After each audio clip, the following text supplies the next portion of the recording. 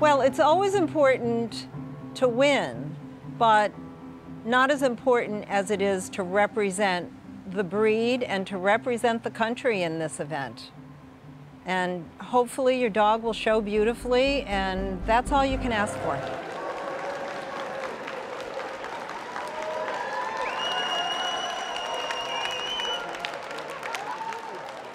I think that once you walk in the ring with a dog that you've shown a number of times, there is a level of comfort with that dog, and there's a communication between the dog and the person that's showing it.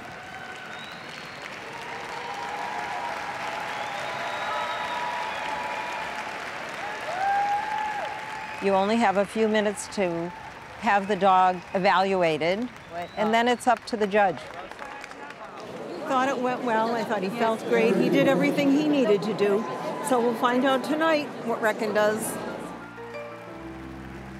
Only three places left, and all eyes are on Colin and Reckon.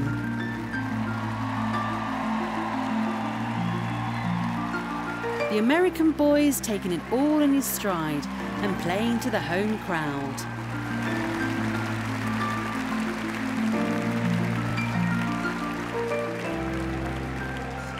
The Scottish Terrier from Russia has been called out the Saluki, and the Australian Shepherd from the USA. And Reckon's done it. Well done. I think that it went very well. I think Reckon showed well. Um, it was a large grouping of dogs with all four sections in the ring. There were some wonderful comments on him. So he's done everything that I've asked him to do, and that's all you can ask for. This is it, the final of the World Challenge. Ladies and gentlemen, we are thrilled to present the contenders of the fifth annual Eukanuba World Challenge.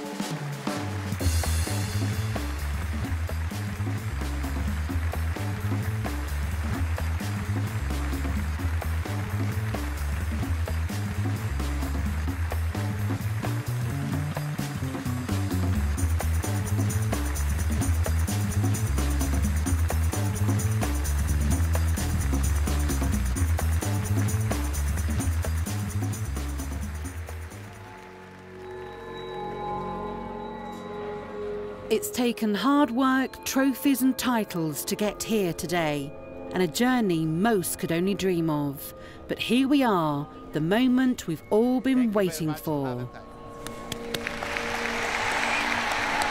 Who will be crowned the champion of the world?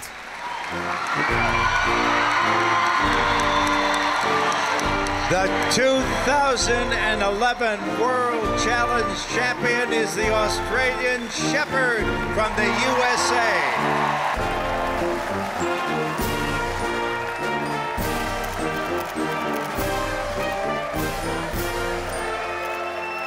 I've always wanted to say, I'm going to Disney World. and we say in Orlando.